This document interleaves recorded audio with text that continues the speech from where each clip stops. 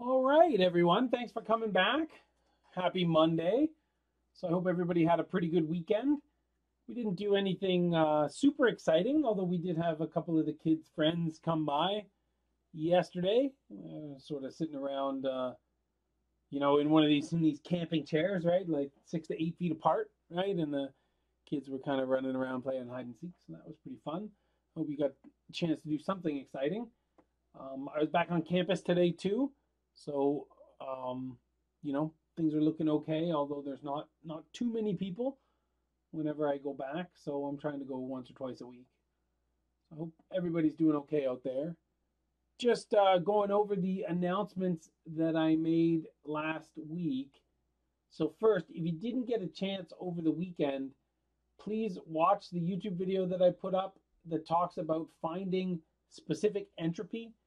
Some of this will be familiar to you because some of it is, um, you know, using tables to find S in the same way that we would for superheated vapors if we were looking for enthalpy, but it'll be different if we're looking for specific entropy in some cases, right? So we'll talk about how do you find delta S across, say, an, a pump where it's not ideal. We have liquid on both sides of the pump. We also talk about how do you find delta S in a process with an ideal gas. So some of those things are different. So please go watch that video. The first half, I think it's about it's about 30 minutes long. The first half is talking about strategies for finding S and delta S, and then the second half is an example with an ideal gas, I believe. The second um, note that I want to make is that RIT is observing Friday or July 4th on Friday, even though that's July 3rd. So we will move our class to Thursday, July 2nd from 4 to 5 instead of Friday, July 3rd from 4 to 5 this week. We're still going to have our class on Canada Day, which is Wednesday. So usually I would be able to go up and uh, sort of spend some time with my family this time of year because all my family lives north of the border. But uh, the border is closed, so we will have to content ourselves with Zoom meetings. Um, we'll also be, I, th- I think I mentioned this last class, but we're going to get into cycles very shortly. So, sort of by the end of this week, beginning of next week, we'll get more deeply into Rankine cycles. And then that sort of starts our journey into all kinds of different cycles. So, we're just about finished um, trying to figure out how to process individual processes. And we'll get into cycle analysis very shortly. So, one of the things I did last year during the shutdown was even though I wasn't teaching this class, I made a bunch of videos doing examples for each type of cycle. So I've made those videos available on the My Courses webpage. So you're obviously, as we go through different cycles, you're certainly welcome to uh, to check those out. So today we're going to talk about isentropic efficiency. But before we do that, I think it's good to sort of have a bit of a high level review of of some of the things we talked about in terms of entropy and isentropic processes. So we know that entropy is kind of some level of randomness or disorder in a system that um, it's not conserved, so it's different than mass and energy, which are the other sort of two big concepts that we're talking about in this class. We know it has particular units. Um, so if we're talking about entropy, the extensive process, the extensive property, that would be kilojoules per kilogram, and the intensive version is in kilojoules per kilogram Kelvin. Another thing that we know is that sometimes it's useful to talk about an ideal or a reversible process. But even though this is sometimes a useful construct or a useful way to kind of understand where the limit of a process can be, we have to understand that these uh, reversible or ideal processes they don't really exist right? So it's impossible to actually have a reversible process but it kind of gives us the limit of performance and it also sometimes gives us the structure of what an analytical expression for an ideal process looks like and that might help us look at which variables we can tweak to improve the performance of whatever real system we have so if we're looking at turbines and pumps, right? So this is pretty, eh, you know, these are pretty important processes, particularly when we're talking about heat engines, where the purpose of all of these heat engines is to produce work or power, right, which is the rate of work that we're producing. So if we're looking at real turbines and pumps, some assumptions that we can make typically in this class will be that we're operating these components at steady state, that we're operating them adiabatically so that there's no heat loss.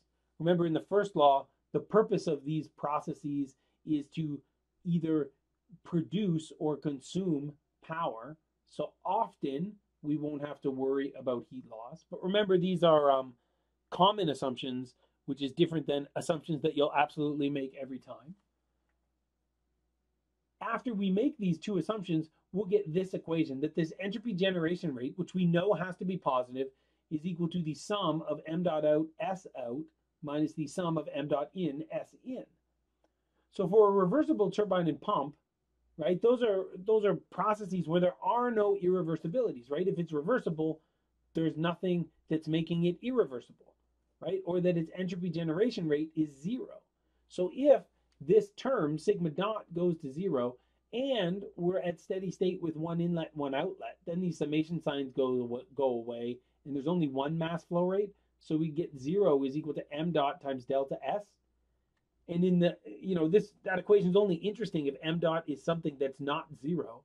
So if m dot's not zero in that case, it means that delta S would have to be zero. So if we have a turbine or a pump that's at steady state, it's adiabatic, and there's one inlet and one outlet, then the ideal version of that turbine or pump is going to be isentropic, which means that the change in specific entropy will be zero. Of course, in a real turbine or a real pump, even if it's one inlet, one outlet, we never are going to get rid of that sigma dot term. So there we will have that S2, the specific entropy at the exit of the turbine or the pump, has to be bigger than the specific entropy at the inlet because that's the way we generate entropy in those cases, even if they're adiabatic. So that's why we kind of got to this idea of drawing these things out on TS diagrams. TS diagrams are useful to us because when we have the real turbine, we know that the exit of the real turbine has this, or the exit of the ideal turbine, I'm sorry, is isentropic. So that means that S of that outlet for the ideal turbine is S2S. Remember, that's kind of a hint to us that it's isentropic. And that's a vertical line down as we're moving out of our turbine. We know that in real life, that that exit of the turbine has bigger specific entropy than the ideal outlet. So then as we go through this turbine, we have to go down because we're still reducing the pressure, but we move to the right because we're increasing the entropy. Same is true for the pump, although in the pump we're moving up in pressure, but the ideal outlet from the pump has the same specific entropy as the inlet. So it's a vertical line, but this time up. The real outlet of that pump, again, S4 has to be bigger than S3. So this line, if we're drawing it on a TS diagram, will slope up and to the right. Now, it's probably exaggerated here how far each of these lines maybe shift to the right, but this is just kind of conceptually, we want to see that the specific entropy is increasing in the real case, but remains constant in the ideal case. So let's look here at the ideal turbine for a second. So what will often happen, right? We're almost always, when we're dealing with a turbine, we'll be given enough information to, fit, to fix the inlet state. Now this will often, although not always, be a superheated vapor. So maybe we get the temperature and the pressure at the inlet. And then if we want the ideal outlet of that turbine, we might only get a pressure or a temperature at the outlet. But if it's ideal, then that means for turbines and pumps that it's also isentropic. So we get that second independent intensive property by assuming that the isentropic outlet is the same as S at the inlet, right? So S2S is equal to S1. So then it's this vertical line down. Then, you know, so typically, like I said, at the exit of the turbine, you'll be usually be given either a temperature or a pressure, and along with your specific entropy, because you're assuming this is isentropic, you'll be able to fix that state. So in this case, what we would do is we would look, okay, I know, so I'm just drawing this as a sketch. So I don't know if I'm putting this point in the right place. I know it's in the right region, so it's superheated vapor. And then when I move down, I would know that, okay, it's possible that I've drawn this correctly and I'm under the vapor dome now. But it's possible that state one was maybe supposed to be over here. And as I draw it down, I would still be in superheated vapor. So what I have to do is look at S2S for the given temperature or pressure that I know and see if it's between SF and SG. So am I going to be a two-phase mixture when I come out of my turbine, or am I going to be a superheated vapor? If I'm dealing with an ideal pump, it's pretty similar, but for ideal pumps, we have this special way of finding the change in specific enthalpy. Now, I believe that there was, you know, that this was potentially a quiz question or in the homework for last week so I guess this week because it's due today, right? Um, so delta H, this is a little bit different, right? So it's a subcooled liquid at the inlet and a subcooled liquid at the outlet. But we can't, you know, normally we would say if you're trying to find the specific enthalpy at the subcool at, in the subcooled liquid region, you can approximate that by saying it's HF at the same temperature. But one of the things we also see for these ideal pumps is that the temperature doesn't change between the inlet and the outlet. So we can't assume that both of these specific enthalpies are the same because then what we would do is we would be predicting that this ideal pump you don't even have to plug it into the wall it just works without consuming any power. And we know that that's not possible even for an ideal pump.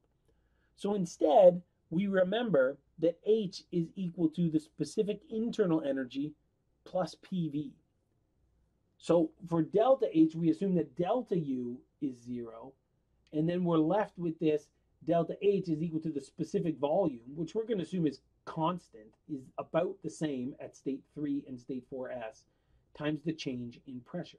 So it's only this change in pressure that's really driving how much power we're consuming in this ideal pump.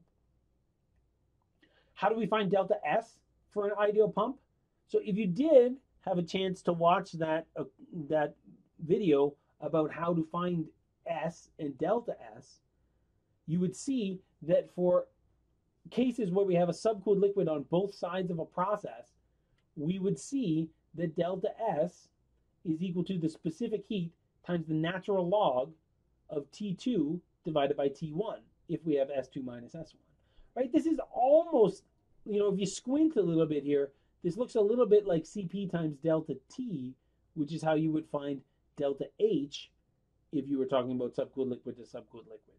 So I know it's different because now it's the natural log of T2 over T1, but I kind of file those in a similar place in my memory banks, right? Although, again, this equation should be on the equation sheet. But what you'll see is that if T2 is equal to T1, right? So T2S is equal to T1 in this case, so you're going to get the natural log of 1, which is 0. So it doesn't matter what your CP is, your delta S here will be 0, right? And that's because for this ideal pump, we have an isentropic process. Delta S is equal to 0, right? So we see that that's how we find delta S across the pump. So hopefully, we have a couple strategies for finding what the ideal exit to a turbine in a pump looks like. But today, we're going to talk about how we use isentropic efficiency to find the real outlet for turbines and pumps. Right? So we know if we draw the TS diagram, the ideal pump is this vertical line up from state 3 to 4S, and the ideal turbine is this vertical line down from state 1 to state 2S. We also know that the real outlet of the turbine moves down and to the right because the specific entropy at state 2 has to be bigger than the specific entropy at state 2s. Similarly, for the real pump, we know that S4 has to be bigger than S4S. So again, we're moving to the right, but this time we're going up into the right instead of down into the right. So the real state is always to the right of the ideal state when we're talking about turbines and pumps. So how do we figure this out? Right? And one way that we can think about how to find the real uh, the real outlet is by looking at something called isentropic efficiency. Now, I've said before that you know if you're ever if I'm ever you know sitting on your senior design process or project or something and you talk about you make a decision because it's more efficient my hand's going to go up right away and I'm going to say like what do you mean by efficiency because in this class in thermodynamics there's multiple different types of efficiencies that we're talking about and they don't always just mean goodness right which I think is kind of colloquially what efficiency is you know is taken to mean so isentropic efficiency, right? So here we're going to talk about the performance of a turbine or a pump compared to its pro- to its performance if it was an isentropic process. So we'll be comparing the the work produced by a turbine to the work that gets produced in an ideal case, or the power consumed by a pump compared to the power that gets consumed in an ideal case right? So we know that if we use the word isentropic, right, we bust out our engineering decoder ring, and what it tells us is that isentropic means that entropy of the system does not increase, right? And it doesn't decrease either. It, in fact, stays the same, right? So this is in the case of turbines and pumps when we're assuming that they're at steady state, that there's one inlet and one outlet, and that they're adiabatic, if we have a process that's isentropic, that means it's also ideal. We usually wouldn't use the word isentropic if we weren't talking about a process that fits into these assumptions, right? So usually when we're using the word isentropic, we're talking about turbines and pumps, and we're assuming that they're ideal. So even though sometimes you might be tempted to think of these two words as being interchangeable, they do mean something a little bit different, even though you'd probably only be talking about an isentropic process if you were also talking about an ideal process. So isentropic efficiency, right? So again, our, our symbol for efficiency in this class is going to be this scripted N or eta in the Greek alphabet. So we have isentropic efficiency for a turbine or isentropic efficiency for a pump. And conceptually, these two things are essentially the same. But you'll see when we're defining these parameters, the mathematical definition is a little bit different if you're talking about a turbine or a pump. So both of these things, what they're doing is they're providing a way to compare the real performance to the ideal performance. What we know about efficiencies is that this is not, you know, you're not interviewing Tom Brady after a game or something, right? you can max out at 100% efficiency. And actually, in real life, you can't even get to 100% efficiency because that implies that your real process is the same as your ideal process, and we can't do that, right? So, efficiency, isentropic efficiency, always has to be less than 100%. If you're ever calculating something to have an isentropic efficiency of equal to 100%, that means you're talking about the isentropic or ideal process. And if you have an isentropic efficiency greater than 100%, then that means that you violated the second law. You can't do that. You can never perform better than the ideal case.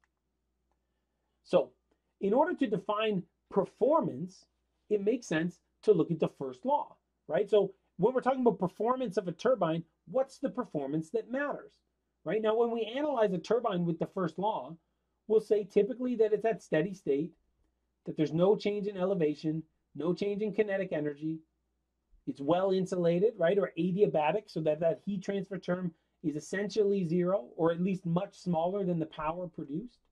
If it's one inlet and one outlet, we'll get this equation that hopefully we're starting to feel pretty comfortable with.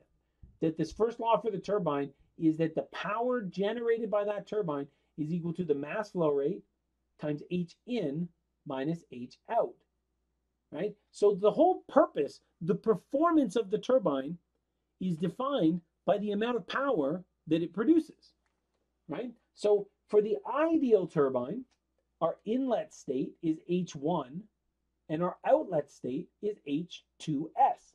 That's the enthalpy in the case where the change in entropy or specific entropy is zero.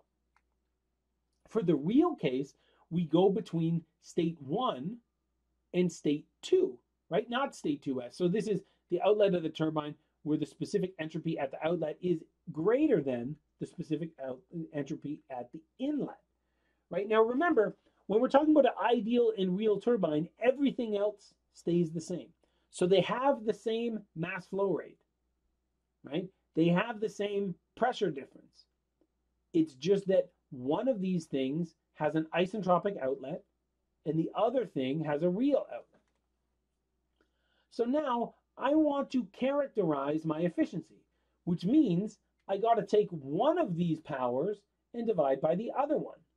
But in order to do that, I got to ask myself which one's bigger because I want to have W dot divided by W dot and I want my thermal efficiency to be less than 100%. So I'll give you a second here and you can think about so this is a turbine, right? The purpose of the turbine is to produce power. So which turbine is going to produce more power? Is the ideal turbine going to produce more power? Or is the real turbine going to produce more power? I'll give you a second to think about it. Here, let's try this. So if you're um if you're looking at your screen, right, why don't you put your hand up if you think that the ideal turbine is going to produce more power than the real turbine. We'll see. See if we can get some interactive part of the lecture here. Okay, I got one hand up, two hands up, three hands up. Okay, so now if you can put your hands down, awesome. Who thinks that the real turbine is going to produce more power than the ideal turbine?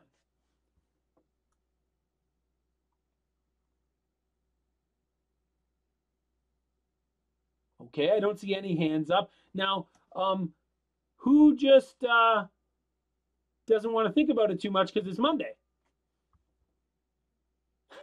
That's good. We got at least one honest hand in the crowd here, right? I can understand that, right? So, um, the ideal turbine, right? So the purpose of the turbine is to produce power, right? So the ideal turbine is going to produce more power than the real turbine the way that I like to think about this is, you know, this ideal turbine is frictionless, right? But the real turbine has some friction, and that friction is going to rob us of some of the power that we would generate in the ideal case. So we're going to lose a little bit of power in the real turbine because we have to overcome these irreversibilities, right? So now we're going to define our our specific our, our sorry. Now we're going to define our isentropic efficiency, but we know that the ideal turbine is going to be bigger or produce more power than the real turbine, right? So both of these isentropic efficiencies are going to be power divided by power. And we know that for both of these isentropic efficiencies, one for a turbine, one for a pump, they have to be less than 100%. Now, we've already said that the ideal turbine is going to produce more power than the real turbine. So that means that I have to put the ideal turbine on the bottom. So now my turbine efficiency is going to be the real power, or the power produced by the real turbine, divided by the power produced by the ideal turbine. And again, this is kind of because the university isn't sorry, because the universe is working against us, right? So it's like um, you know, this friction it's it's taking away from the thing that we want. And the thing that we want here is to produce more power. So the universe kind of acts against that a little bit in terms of friction and things, right? So this is the second law at work. So we can't produce as much power as the ideal turbine, right? So now we can think about this um, from the point of view of the pump, right? So again, we're going to make all these same same assumptions. So it's going to be steady state, no change in potential energy, no change in kinetic energy, adiabatic, one inlet, one outlet, and we get that the power consumed by the pump is going to be m dot times h in minus h out. This is the same as it is for the turbine, except that in this case, the pump is consuming power. We have to put power in for the pump to work. So we'd expect this number to be negative, right? Again, with the ideal pump, we're going to be m dot times H1 or the inlet minus H2S, which is the isentropic outlet. And the same thing is true for the real pump, but now it's going to be m dot times H1 minus H2, where H2 is the real outlet of the pump. Now we ask ourselves again, which one's bigger? So the pump is consuming power, right? Which means that, you know, when I plug it into the wall, I got to pay RG&E or who's ever, you know, running my electricity bill. I got to pay them some money because the pump is consuming power. So it costs less money to run this ideal pump and more money to run the real pump. So what that means is that the real pump consumes more power than the ideal pump. And that's because, again, of these irreversibilities, right? This friction, it's always robbing us of the thing that we want. So here, we want to consume as little power as possible. But when we're adding power to the system, it turns out we got to add a little more power in because we have to overcome things like friction inside of our pump. So our isentropic pump efficiency is again, it's going to be power divided by power. One of these things is real, one of these things is ideal, and we know we need the bigger number on the bottom because our isentropic efficiency has to be less than 100%. Right? So here we know that the real pump is going to consume more than the ideal pump because this power is like an energy cost and not an energy benefit. And the universe in some ways is always working against us. So here, the pumps require power, right? So the losses in the system, we got to overcome those losses in the system. And the way we do that is we got to put in a little bit more power. So when we're talking about isentropic efficiency of a pump, then what we see is that we need to put the real power on the bottom, right? These are both going to be negative numbers. So a negative divided by a negative is still going to be a positive and our pump efficiency is going to be less than 100%. Right? So this is it actually becomes pretty important to be able to use these isentropic efficiencies.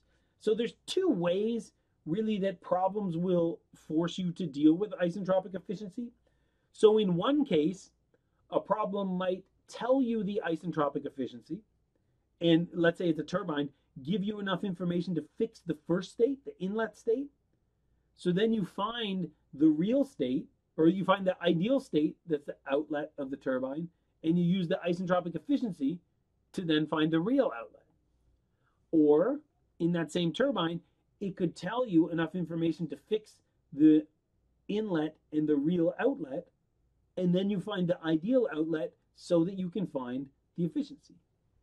Right? And I know it's hard if I just, you know, tell you those things. So we'll go through a couple of, of examples at the end of this lecture to um, to help you figure out how to do this. Right? So the whole point of this talk so far has been how do we get to find these real outlet states? Right? So typically, like I said, what can happen here is if we're not given enough information state wise, right? So to fix this state, normally we'd say we need two independent intensive properties. But if we're told something about the process, like what its isentropic efficiency is, then if they told me the inlet, if I got enough information to fix state one, and they told me either the temperature or the pressure at state two, if I also knew the isentropic efficiency, then I could find what the real or what the ideal turbine power was, and then use the isentropic efficiency equation to find the real turbine power. Right? So I know that in reality, the entropy is going to increase as I go through a real turbine or a real pump. So, uh, like I said, so these inefficiencies, they're always kind of working against us. So we're trying to produce power for the turbine, so it's an energy benefit. And what these inefficiencies do is they strip us of some of the power we would otherwise otherwise generate in this turbine. And for the pump, the power is a cost to the system because we got to plug the thing into the wall to run it, right? So it's going to increase the cost that we pay. So these inefficiencies, they reduce benefits and they increase costs. So, like I said, it's a little tricky if I just say in words the things you can do. So I'm going to try to show you in two different examples. So in the first example, we have this turbine. So here, I look at my state table and I have a real inlet, state one. I have an ideal outlet, state 2S, where I'm only told the temperature. And I have this real outlet where I'm told the temperature and that the quality is 1. So right away I look at this and I say I can fix two of these states. This is what I really like about drawing a TS or a state table. One of the reasons I like drawing a state table is that I can look at the lines in the state table and see where do I know two pieces of information, right? And hopefully, where I know two pieces of information, I can fix the state. That's definitely going to be true because I can always fix the state with the temperature and the quality. The pressure and the temperature, maybe this doesn't work if I'm under the vapor dome, but here I'm thinking that usually when I go into a turbine, I want to be a superheated vapor or at least a saturated vapor. So I'm hoping that with the temperature and the pressure here, I can fix that state. So here I'm asked to find the isentropic efficiency of the turbine. So how do I go about doing that? So how do I fix a non-ideal state, right? So first I want to fix the ideal state, and then I want to fix the non-ideal state. Although in this case, I'm given all the information to fix that non-ideal state without even using isentropic efficiencies because I'm trying to find the isentropic efficiency, right? So here I'm given enough information to find the first state, the inlet state. I give, I have the temperature and the pressure. I look on, I think it's table A4, and I see that we're superheated vapor. So I look in my table and I see that the specific enthalpy here is 3,697.9. I can write down the specific entropy here as well. And quality doesn't really make sense to write down here because this is a superheated vapor.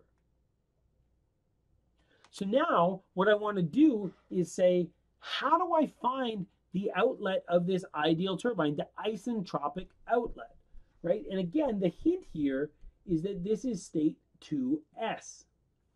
And when we put that s in the state number, it means that it's isentropic, right? So it looks like I only know one piece of information here, that we have the temperature, but really I also know that this is an isentropic process. So I don't find H2S right away. Instead, I realize that the entropy here, the specific entropy, is the same as it was at the turbine inlet. Now I got to figure out, because this is water, so I know the material is water. The next thing I have to do is say, what's the phase, right? It's coming out of a turbine, so I'm not expecting this to be um, a subcooled liquid, but it could be a two-phase mixture, and it could be a superheated vapor. So what I would do is I would look on, I think it's table A2, where the temperature is given on the left. I'd look for the row that told me that the temperature was 45 degrees, and I'd look to see what's SF and what's SG. And is this value of specific entropy in between SF and SG, or is it bigger than SG? So in this case, we're in between SF and SG, so we're going to use our quality equation to figure out what the quality is in this case. So we know S of 2S, that's going to be the same as S1. We know SF because we read this off the table. We don't know X2S, but we do know SFG, where SFG is going to be SG minus SF on that row of the table. So in this case, the quality is really high, but it's not quite 1. So here I know the quality. Now I'm going to use the quality equation again, but in this case, I don't know h of 2s. I do know hf.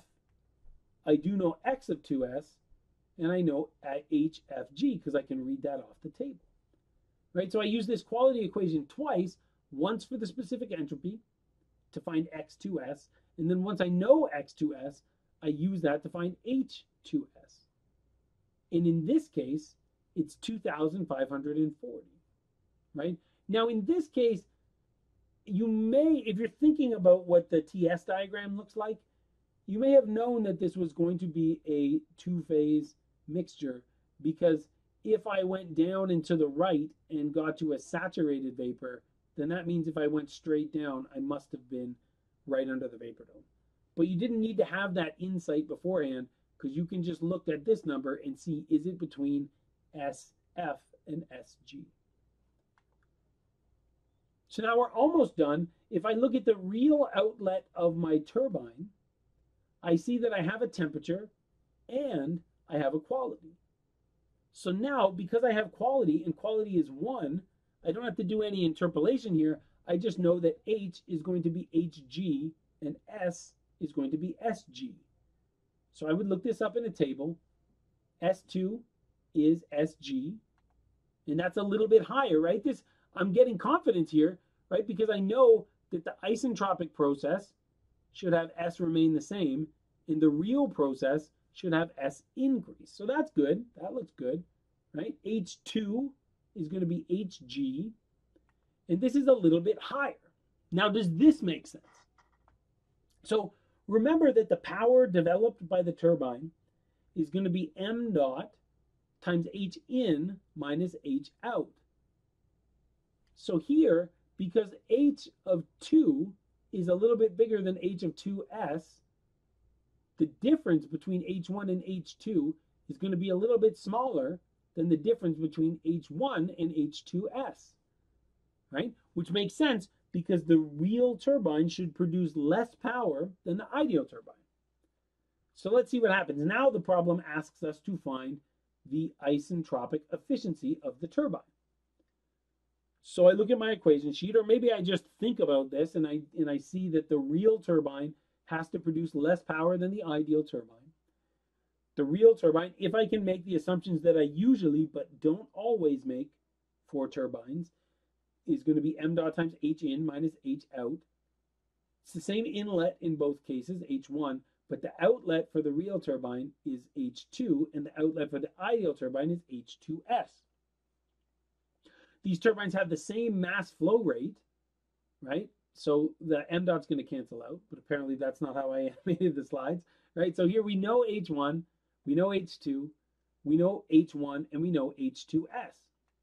We don't know the mass flow rate through the real turbine, and we don't know the mass flow rate through the ideal turbine.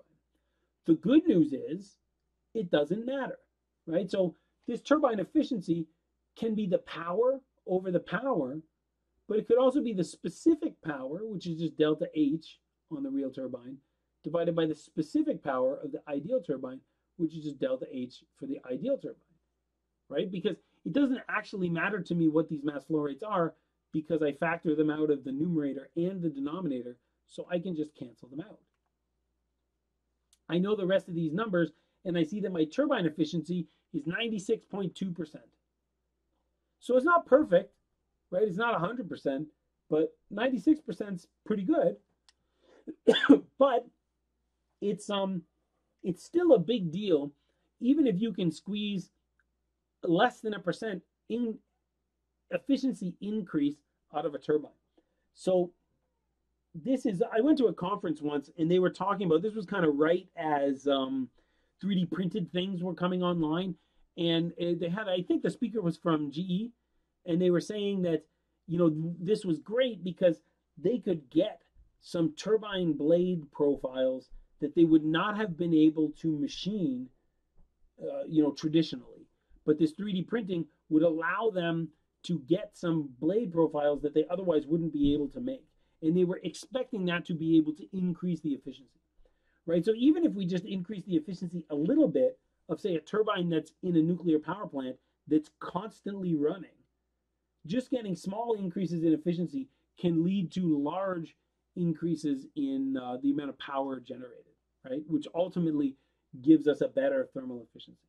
So even though maybe this is already at 96%, if we could get to 96.5% or 97%, um, you'd be certainly helping the earth, but probably helping your own pocketbook too, because this is part of the reason why people hire engineers is how do we make the process even a little bit better can really change how the process works, right? So it reduces emissions per power generated, but it's also going to increase revenue, right? So that's one way that we can do an isentropic efficiency problem, where we're given enough information to fix the states, and the problem tells us the isentropic, or the, and we try to solve for the isentropic efficiency. The other way we can do these isentropic efficiency problems is like this one, where the problem gives us the isentropic efficiency. So this time it's a pump, right? And I look at my state table, and maybe I feel not so good in this case because I only have one state, the inlet, where I have enough information to fix the state. I don't have enough information to fix the state of the ideal outlet or the real outlet. so, how do I proceed in a case like this? The first thing is maybe I just look up the state that I know how to look up because while I'm doing that, I can think about what to do next in the problem. Right? So here I would look again, I think it's table A2, but it could be A3. I confuse these two sometimes.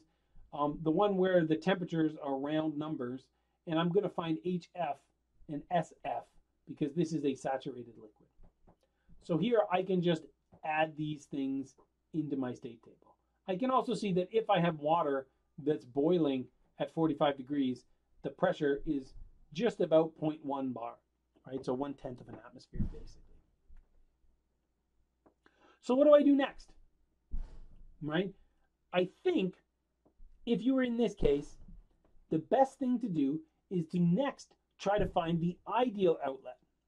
Because we do have another piece of information about the ideal outlet. It's it's sort of buried in the wording here, right? Because this S4S is an isentropic outlet, which means that S4S must be equal to S3. Right? So that's good. I know the S here, right? But I also know that the process moving from state 3 to state 4S is an ideal pump, right? So if we're going through an ideal pump, we can find the change in the specific enthalpy as the specific volume times the change in pressure. Okay, so now I know here the change in the pressure, right? Because I looked up the pressure. I know the pressure where water boils. I don't know the specific volume. I'm going to assume that the specific volume is approximately equal in these two cases. If you'd prefer, you could have this if your delta H was H3 minus H4S. You could say V3 times P3 minus V4S times P4S. But the specific volumes for water that subcooled liquid are always going to be about the same, which is always about 1 over a 1,000. So here I'm going to assume that these specific volumes are the same, and I'm going to take VF of this state. I probably should have put specific volume on my state table here, right? So I could have put specific volume over here and seen that this was about 1 over a 1,000. I did look it up here. So here I took VF at state 3, and I found that this is about 1 over 1,000 meters cubed per kilogram, and I multiply this by the pressure difference. Now, you'll notice here, if I think, so first, when we're dealing with ideal pumps, there's two things that are tricky. The first is just remembering that you can use this equation. The second is getting the units right. So I didn't do it here, but if I was drawing my own state table on a exam problem, for example, I like to put my pressure in kilopascals because if I take specific volume times kilopascals, what I'm going to get is kilojoules per kilogram, and that's what I want H to be because when I look H up in the table, it's in kilojoules per kilogram. So I've changed in my calculation. I turned this, remember to go from bar to kilopascals, you have to multiply by 100. So 100 times 10 is 1,000. 0.096 times 100 is 9.6. Right, so that's my pressure difference. right? And I get that H4S minus H3 is equal to approximately 1 kilojoule per kilogram, right? Because this is about 1 over 1,000. This is about 1,000. So 1,000 divided by 1,000 is about 1. My units here, this is kilopascals, right? So that's kilonewtons per meter, kilonewtons per meter squared, right? So meters cubed divided by meters squared, that'd be kilonewton meters on the top, which is kilojoules, right? So here I get that S4S is one kilojoule per kilogram bigger than S3, right? So now I can put this in, right? So S4S is 189.45, which is one larger than 188.45. So now, how do I find the real outlet for the turbine? So this, or the for the pump. So this is something that we'll often have to do. But now it's okay because I know the isentropic efficiency. So sometimes when we fix a state, we'll know two independent intensive properties at both sides of our process. Sometimes we'll only know it on one side of our process, but the problem will tell us something about the process. Like in this case, they tell us that the isentropic efficiency is 0.9 or 90%. So now I know that the real pump consumes more power than the ideal pump. So I use the definition of isentropic efficiency, right? M dot times H3 minus H4S, that's the ideal pump power, divided by M dot times H3 minus H4, that's the real pump power, I know that's going to be equal to 0.9. Because it only really makes sense to compare an ideal and a real process if the same mass flow rate is going through them, right? We can cancel that out. I've found H3 and H4S, and I know H3. So the only thing that I don't, and the problem told me the isentropic efficiency, so the only thing I don't know here is H4. So what I would do is I would flip this around. So I would multiply both sides by H3 minus H4 and divide both sides by the isentropic efficiency of the pump. And what I get here is H3 minus H4 is equal to H3 minus H4S divided by the isentropic efficiency. In this case, I know that H3 minus H4S, so it's here I have a check mark beside both of these things, right? Because I know both of these things, but I also just know the delta, right? So, and I know the isentropic efficiency. So this is negative 1, right? Because now it's H3 minus H4S, right? So 188.45 minus 189.45 is negative 1 divided by 0.9, right? So this is going to be negative 1.11 kilojoules per kilogram. And that tells me that H4 is 1.11 kilojoules per kilogram bigger than H3, right? So here I can take H3, add 1.11 instead of just 1, and here I see that the delta H across this real pump is bigger than the delta H across the ideal pump. And that kind of, you know, is in tune with my intuition that the ideal pump doesn't have to worry about friction, so it consumes less power, right? Delta H is smaller for the ideal pump and larger for the real pump. So that concludes our introduction to this idea of isentropic efficiency. So in both cases, it's going to be power divided by power. We have to figure out which one is bigger, and that's the one that goes in the denominator. And then we can either fix both sides of the real process and find the isentropic efficiency, or we can fix one side of the real process and use the isentropic efficiency to find the other side of the real process. So does anybody have any questions about the material we covered today?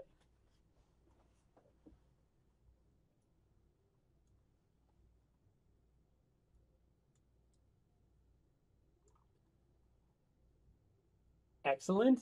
I will see you all again on Wednesday. I hope everybody has a good couple of days, I guess, till we see Wednesday. And uh, remember that your homework is due tonight. Thanks, everyone. Bye bye.